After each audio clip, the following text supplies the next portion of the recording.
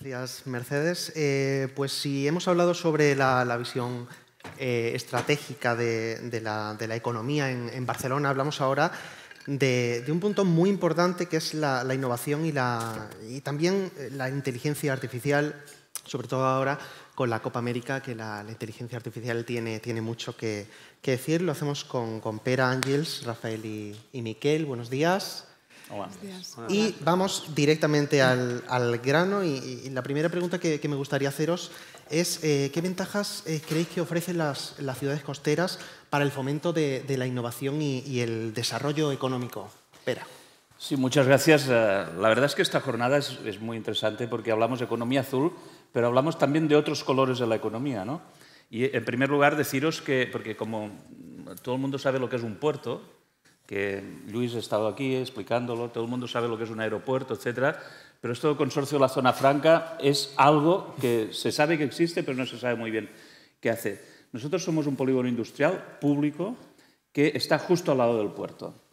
Pero cuando tú preguntas eh, esta cuestión, quiero deciros que el origen de lo que es hoy el consorcio de la zona franca de Barcelona es un origen de hace más de 100 años en el que eh, el Ayuntamiento de Barcelona, la Junta de Obras del Puerto, que era en aquel momento la autoridad portuaria, las cámaras de comercio había dos, la de navegación y comercio y la de industria, después se fusionaron, y el Instituto Agrícola y 499 ayuntamientos de toda Cataluña se ponen de acuerdo para pedir al Estado un puerto franco.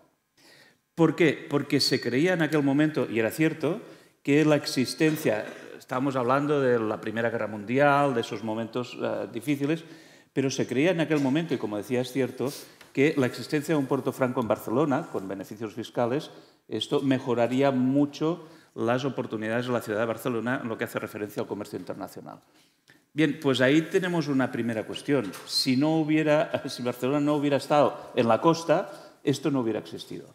Y después esto se transforma en lo que somos hoy, que es un gran polígono industrial como digo, de titularidad pública de 6 millones de metros cuadrados. Un polígono industrial que tiene una excelente relación y muy intensa con el puerto, evidentemente, con el aeropuerto y con la ciudad de Barcelona.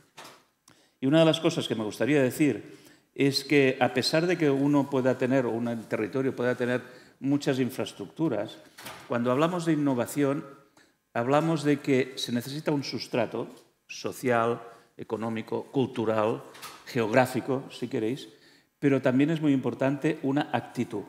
Es decir, si tú tienes todos los ingredientes y no sabes cómo cocinarlos, no va a resultar, antes han salido chef, no va a resultar el plato que tú quieres eh, hacer.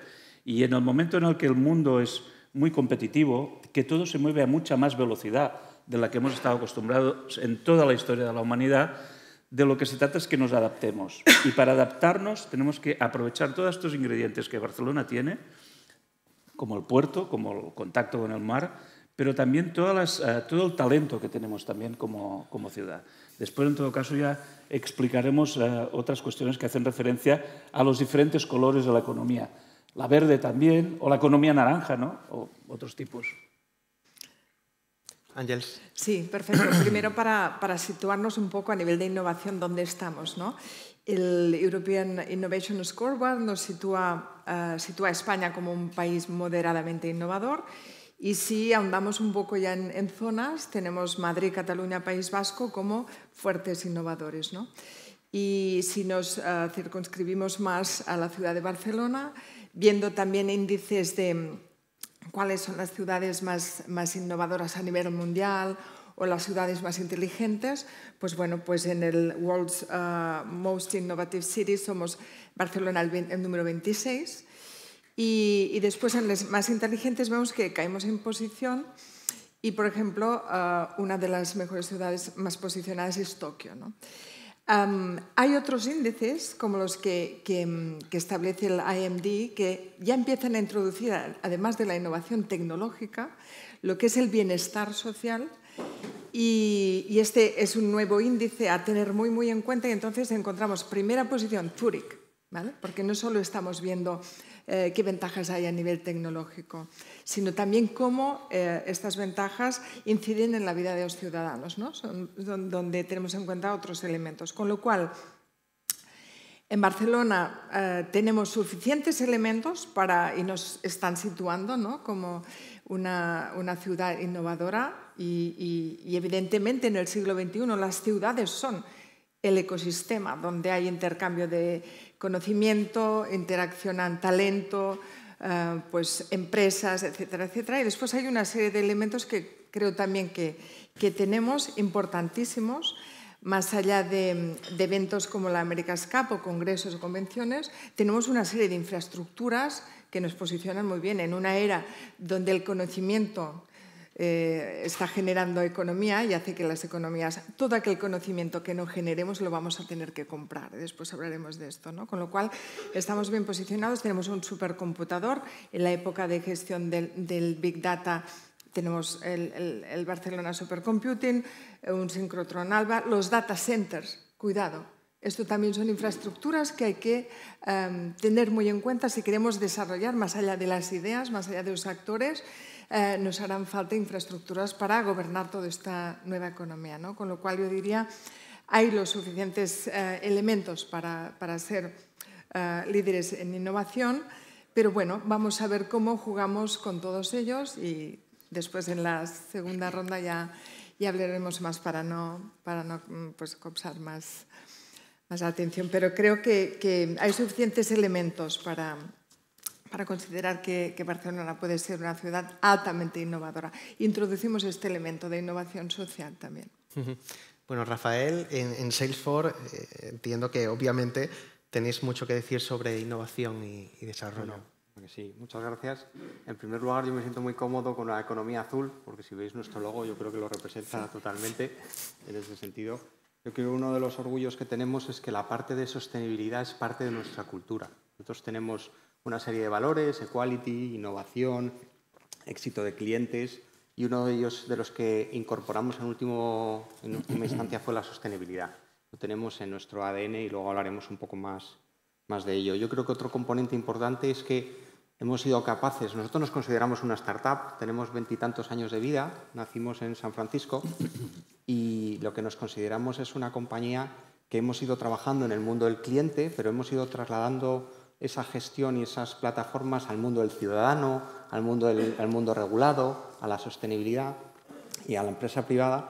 Y lo que hemos conseguido es una plataforma que somos capaces también de unificar el concepto de la administración pública, el concepto del propio con, concepto del ciudadano y el concepto de las empresas, inclusive toda la parte turística. Es decir, somos un proveedor eh, importantísimo en todo el sector transporte, hospitality, y yo creo que eso es lo que genera unas capacidades que, que estamos intentando incluir en una única plataforma para poder ayudar a este tipo de iniciativas. Uh -huh.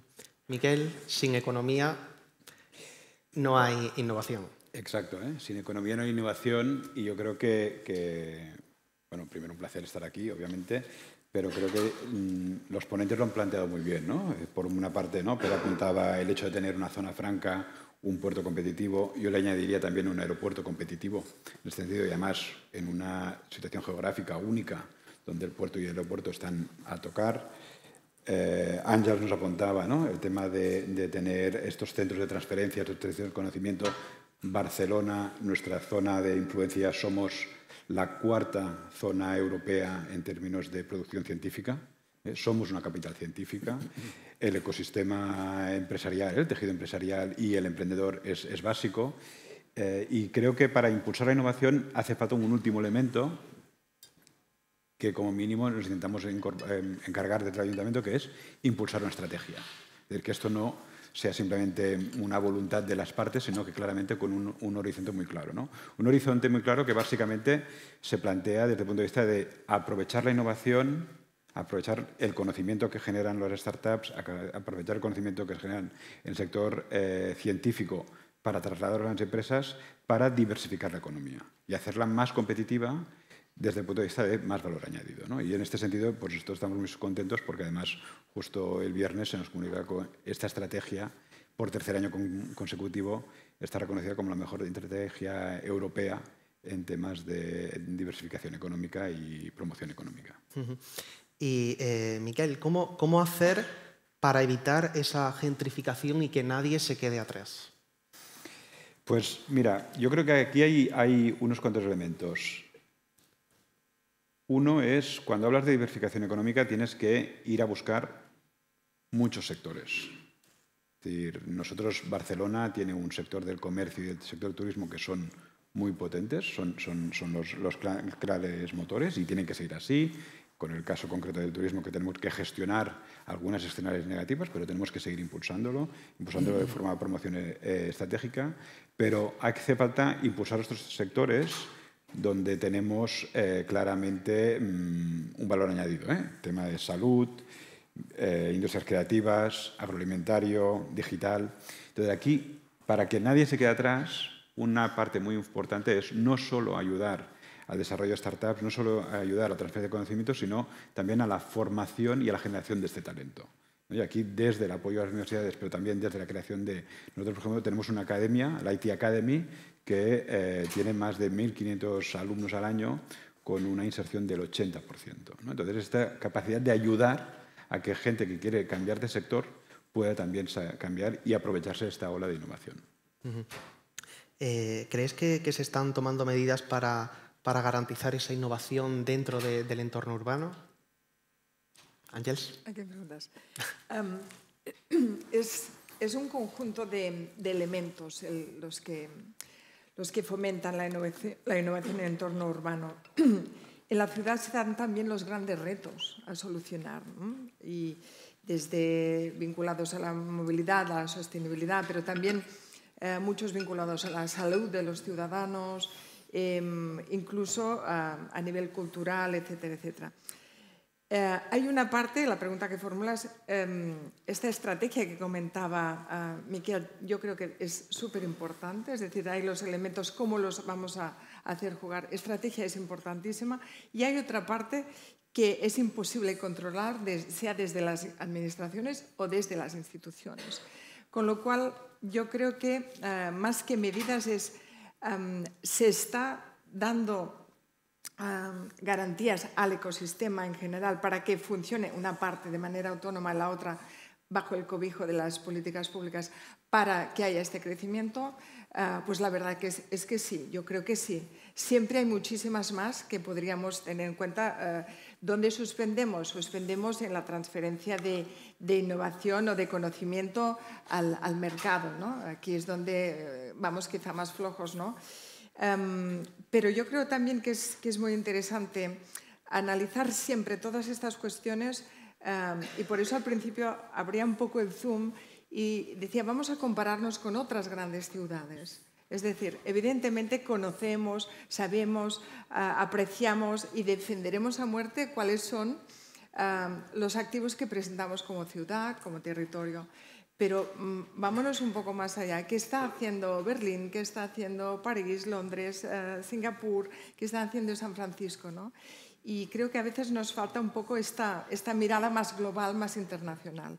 Um, hay muchísimas cosas que se están haciendo bien, como es eh, la atracción eh, de estos eventos internacionales. Antes uh, comentaba Pau que van más allá del evento en sí, generan sinergias para uh, activar la economía se está apostando en colaboración público-privada y entre las administraciones, importantísima para mí esta colaboración entre las administraciones, eh, porque bueno, pues las empresas tengan eh, el terreno mucho más fácil de lo que pudieran tener. ¿no?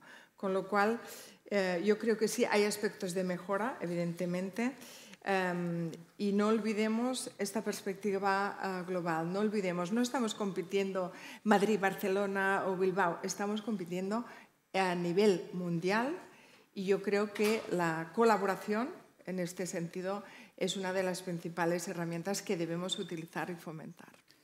Nos, nosotros como Consorcio de la Zona Franca, una de las cosas que estamos haciendo es uh, impulsando la industria 4.0 ¿Qué es? Sensórica, fotónica, inteligencia artificial, Internet de las Cosas, impresión 3D, ciberseguridad, etcétera, etcétera. ¿Y qué hemos hecho? Ya no es un proyecto, es una realidad. Un edificio de 17.000 metros cuadrados con una inversión de 30 millones de euros del propio consorcio, dedicado a la industria 4.0. Ya hay más de 30 empresas que están trabajando allí y el proyecto que tenemos es ampliarlo hasta los 100.000 metros cuadrados para que sea un referente mundial de este tipo de industria. y convertir nuestro polígono industrial de 6 millones de metros cuadrados en el distrito 4.0 de Barcelona.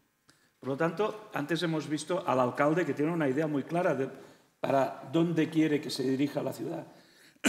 Perdón, dónde quiere que se dirija la ciudad de Barcelona. Y uh, lo demás son piezas de un puzzle que va tomando forma. Si por un lado hacemos todo lo que se ha explicado en el tema del puerto, en el tema de la economía azul, etcétera, etcétera, eh, con la transformación, etcétera.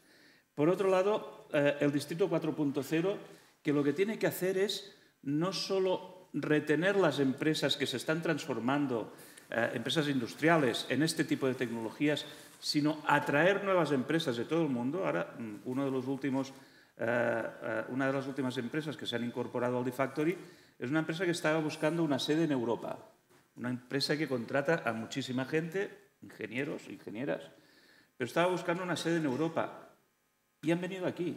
¿Por qué han venido aquí?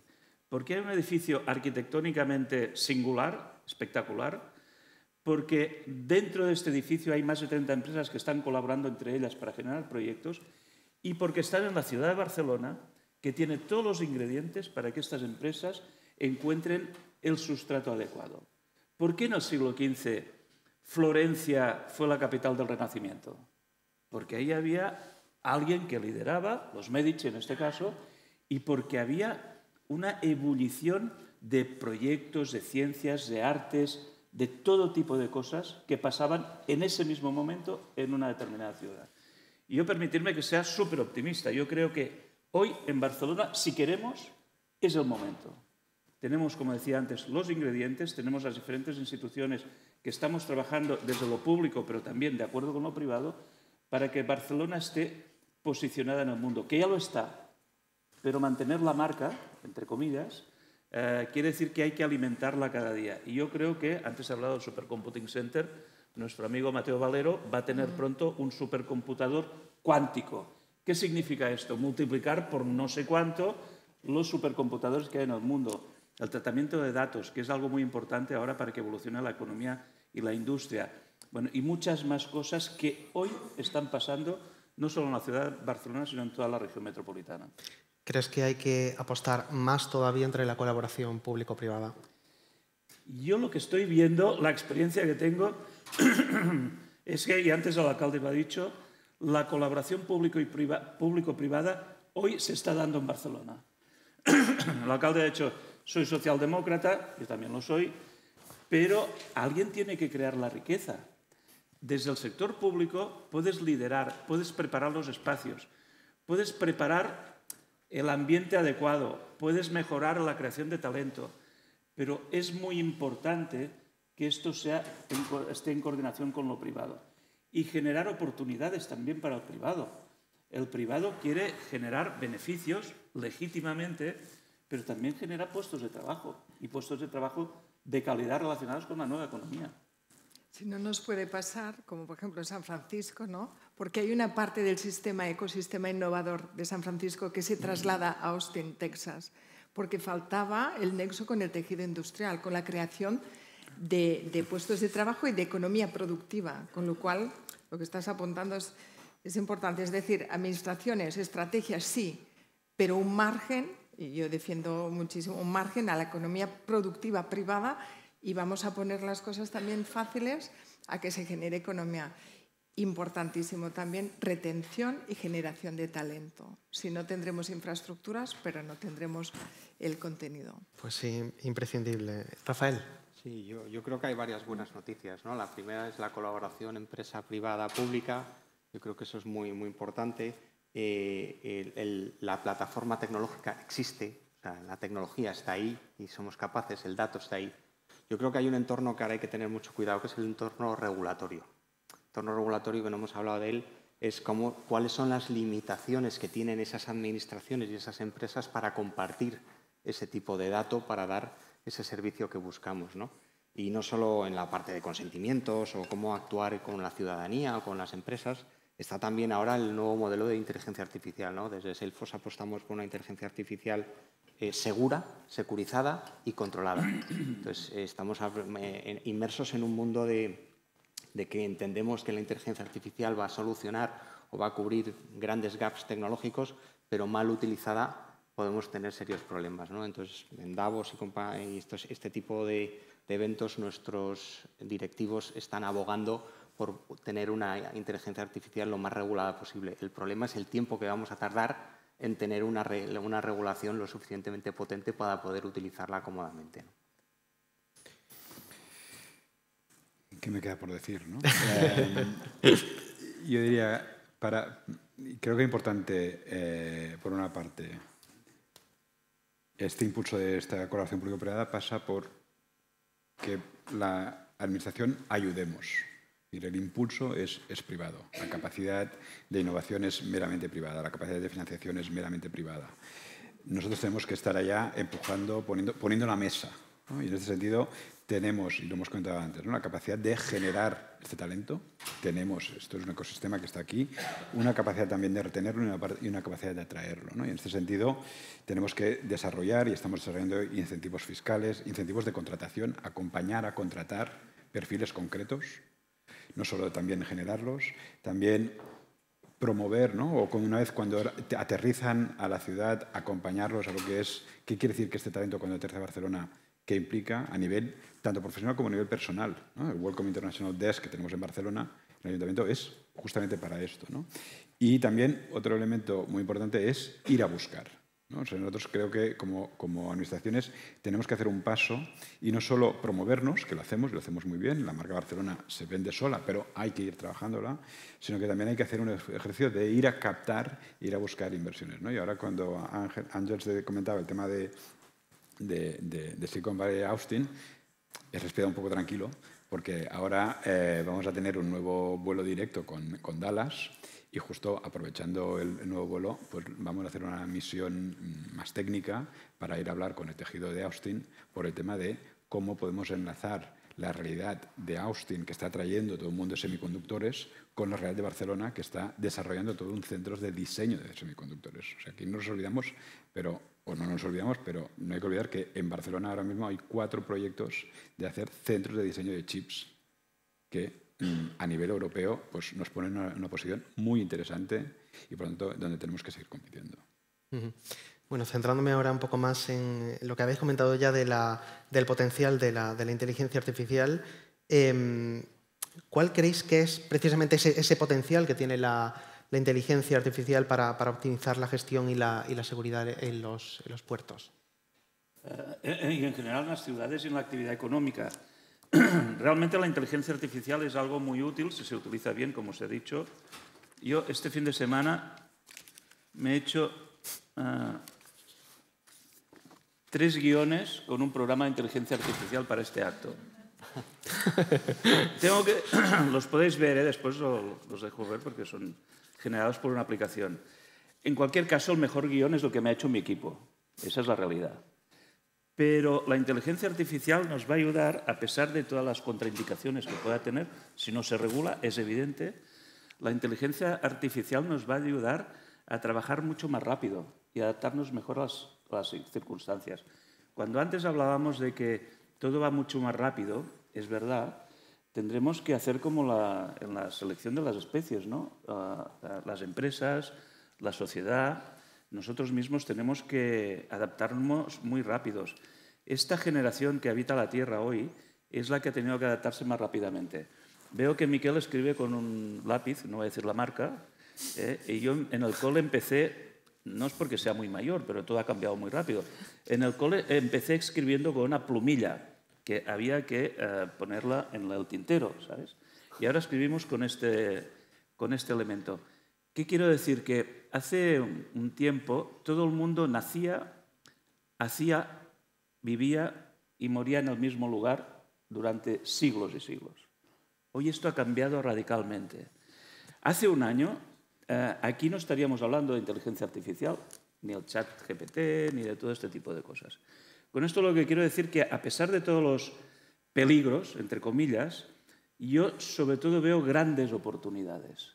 Y lo que veo es que lo que tenemos que hacer también desde el sector público, de acuerdo con el privado, es ayudar a que nuestro tejido económico, social, cultural también, eh, se adapte a estas nuevas circunstancias.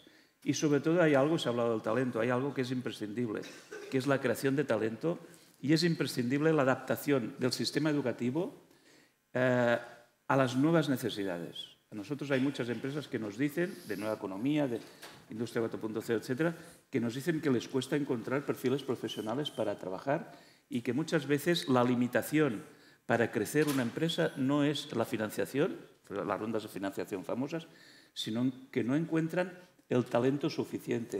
Y creo que ese es un reto muy importante, la adaptación del sistema educativo y la, transferencia, como tú decías, de la investigación con la innovación en la aplicación de las empresas y, en nuestro caso, en el tema industrial. ¿no? Pero, oye, esto es como la globalización. Eh, los movimientos de antiglobalización eran antiglobalización, pero el sol sale cada día, ¿vale? O sea, te pongas como te pongas, la globalización ya hace tiempo que está aquí. Te pongas como te pongas, la inteligencia artificial ya empieza a estar aquí y tenemos que aprovecharla y tenemos que regularla y usarla, evidentemente, para un buen fin, que es el fin del progreso. Te he visto leer un poco no, los no, apuntes no, no, de, de, la IA.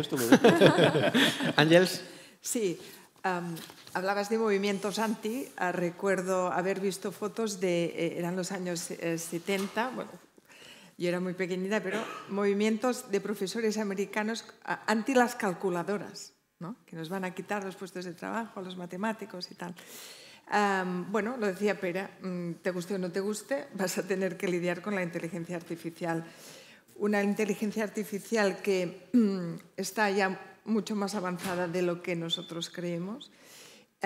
Y el principal reto, bueno, si nosotros analizamos los tres grandes bloques eh, que hay en el mundo, ¿no? pues Estados Unidos, Europa y, Asia, bueno, China eh, come aparte. Um, que en cada uno de estos grandes bloques haya una regulación eh, distinta, va a hacer que la inteligencia artificial siga su camino, por mucho que en Europa, evidentemente, es quizá la zona donde haya una ma mayor conciencia de los peligros también que puede suponer. ¿no?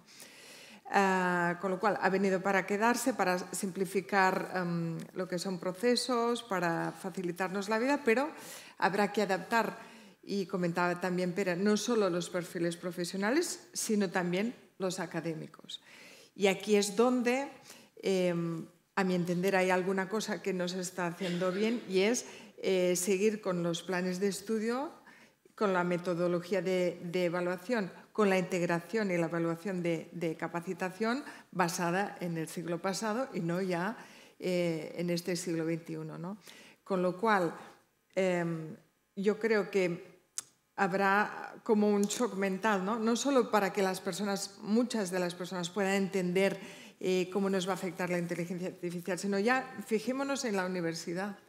Nuestras universidades siguen un, uh, un vector, digámoslo, académico, no profesionalizador. La permeabilidad entre la empresa y la universidad aún es súper baja, es casi impermeable muchas veces, ¿no? Y entonces hay que dejar entrar, y esto implica transformaciones estructurales ¿eh? en el sistema de conocimiento, pero creo que son muy, muy necesarias, porque si no tendremos a unos alumnos que se han formado en unas estructuras académicas del siglo pasado y en cambio en su entorno uh, inmediato laboral van a encontrarse con las nuevas tecnologías. ¿no? Y después, evidentemente, todo el gap generacional que, que va a haber. Pero mm, yo, yo también soy optimista, eh, quizá las cosas no vayan, uh, no seamos tremendistas, pero conciencia de que esto va a cambiar y mucho y de cómo no comencemos a espabilar y, y miramos a también otros países que están haciendo a nivel académico, a nivel formativo, integrando todas estas nuevas tecnologías, eh, bueno, pues más allá de las facultades tecnológicas, eh, me gustaría saber cómo se implementa la inteligencia artificial, ya, ya digo, en, en, otras, uh, en otros ámbitos uh, de estudio, ¿no? Con lo cual, hay muchísimo, muchísimo trabajo por hacer, muchísimo. Uh -huh. Rafael. Bueno, yo hablaría de dos puntos fundamentales. La primera es el dato, o sea, la calidad del dato, Para tener una inteligencia artificial de calidad y, sostenible y, de, nivel tenemos que tener buenos datos, eso es fundamental. Y la segunda es dar accesibilidad. Desde Salesforce lo que hemos hecho es crear plataformas que sean fáciles de configurar. Es decir, porque el concepto de inteligencia artificial lo que tiene que dar es que la gente que tiene talento y conocimiento en su sector, en sus negocios, lo puedan aplicar en la parte de la inteligencia artificial con plataformas simples de configurar, porque no nos olvidemos que muchos de estos conceptos son conceptos tecnológicos, requieren mucha formación, eh, sin embargo nosotros lo que hemos hecho es eh, integrar esas herramientas de una manera que eh, suena muy, mm, muy fácil, ¿no? un point and click, vayas configurando lo que quieres sacarle a la plataforma a nivel de, de inteligencia. Hemos trabajado mucho en la predictiva y ahora estamos en la generativa, ¿no? es decir, cómo recomendar en la plataforma una siguiente acción a un ciudadano, una siguiente acción a un cliente y conectado además no solo eso, sino con todos los canales que puedes llegar a tener y conexiones con, con esos clientes, ciudadanos o empresas. ¿Y cómo, cómo, creéis que se puede aplicar eso a, a, los, a los puertos? A los puertos. Antes de aplicar los puertos, te plantearé cómo tenemos que, trabajarlo desde la Administración en general. ¿eh? Y yo creo que en todo caso eh, nosotros tenemos una triple responsabilidad. Por una parte, garantizar un buen uso. Y aquí mm, creo que cartas de derechos vinculados a, a derechos digitales es importante, es importante que se establezcan muy bien. Segundo elemento de responsabilidad, Mm, formación. tenemos que ser un actor activo, no simplemente un usuario de esta tecnología. Tenemos que garantizar que haya formación y tenemos los activos eh, claramente planteados. Y por último, y acercándome a tu, a tu pregunta, eh, aprovechamiento. Como administraciones, y hablo concretamente del ayuntamiento, pero se podría aplicar, por ejemplo, al, al, al puerto, es la inteligencia artificial nos tiene que servir para planificar, para diseñar mejor nuestras propias políticas. Y en el caso, dos casos muy concretos mm, locales. Mm, los planes de uso de comercio o los planes de desarrollo urbanístico. Todos los diseños que tú planteas desde el punto de vista de planificación con un digital twin, una capacidad de poder trabajar a nivel de inteligencia artificial, qué quiere decir esto a futuro, qué cambios implica, cómo condiciona futuros usos, es básico para poder planificar y desarrollar mucho mejor las políticas que tienes que implementar. Eh, en una mesa redonda sobre la inteligencia artificial, una persona mm, eh, experta en esto eh, dijo que lo más importante de la inteligencia artificial era generar inteligencia natural. Y creo que esa es la, llave ¿no? del tema. Pues sí, nos quedamos con, esa, con esa clave y nos quedamos casi sin tiempo y quería eh, tocar también eh, un poco el tema de la sostenibilidad y cómo integrarla con la, con la innovación. perdón, nosotros vemos con mucha satisfacción que todas las empresas que nacen, con las que tenemos relación, y las que ya existen y se transforman, nacen con la sostenibilidad de serie ya. Nosotros tenemos una incubadora de impresión 3D que han pasado 100 empresas por allí. Ahora tenemos una incubadora de logística 4.0 con lo que significa la logística de movilidad, de transporte, etcétera, etcétera, ligado a la sostenibilidad. Y no hay ninguna empresa que nazca o ninguna empresa que exista que no incorpore ya el tema de la sostenibilidad en su actividad cotidiana. Yo creo que la, la, sostenibilidad ya se les presume, ¿no? Es decir, creo incluso que que, empieza a cansar, ¿no? Hablar, utilizar ya sostenibilidad, sostenible. Se presume, es que si ya no eres sostenible, ya estás fuera de esta liga. o sea, desaparecerá un poco el término cuando... Pero claro, entonces ya se presupone que, bueno, que cualquier empresa, actividad debe ser sostenible, medioambientalmente sostenible, etcétera, etcétera. Yo incluyo una sostenibilidad que apuntaba antes, ¿no? como es este índice de desarrollo humano, esta sostenibilidad en liderazgos, en empresas, que vaya más allá de la sostenibilidad eh, física y también empecemos a entrar en la sostenibilidad eh, psíquica. ¿no? Y aquí, eh, bueno, pues em, entrando, introduciendo algunos temas como los que hemos comentado, cómo vamos a, a convivir con esta inteligencia artificial, cómo vamos a desarrollar este futuro inclusivo también, ¿no? Y ya digo, es una palabra que yo creo que a todos, sinceramente, nos empieza a cansar ya el tema de sostenibilidad, pero es un must. O sea, sí o sí eh, hay que ser sostenibles. Claro. Bueno, como he dicho, es parte de nuestros valores y bueno, eh, nosotros fundamentalmente invertimos en una nube que se llama Net Zero Cloud, que es una nube que no tenía nada que ver con nuestro negocio, donde ayudamos a las empresas a medir la huella de carbono, a tomar decisiones. ¿no? Entonces creamos productos orientados a, que, a, apoyar a esas empresas a que puedan hacer esas mediciones y apoyarles a tomar esas decisiones en, en un corto espacio de tiempo. Yo creo que cuando hablamos de innovación tenemos que tener claro que es para hacer las cosas mejor. Y cuando hablamos de hacer las cosas mejor, tenemos que superar los, los retos que tenemos, ¿no? dentro del de planeta, como de personas, como de progreso. Por tanto, si, no, si la innovación que planteamos, que impulsamos, no incorpora ¿no? soluciones que mejoren la sostenibilidad, estamos avanzando en la dirección incorrecta.